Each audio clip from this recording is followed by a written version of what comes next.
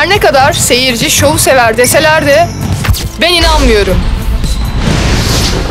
Bence seyirci skoru sever ve bunun formülünü bulmak da hiç kolay değil. Bu formülün altında binlerce şut, yüzlerce kilometre dribbling, onlarca sakatlık ve kilolarca kan, ter, gözyaşı. Ve tüm bunların sonunda bir tek formül var, basit oyna. Basit oynamak en zorudur. Her hareket sadece tecrübeyle daha rafine, daha net olur.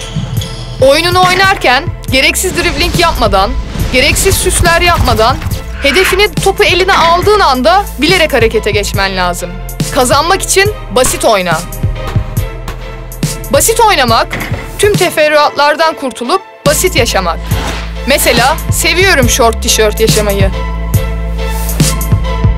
BKM Express'le ödeyeceğim.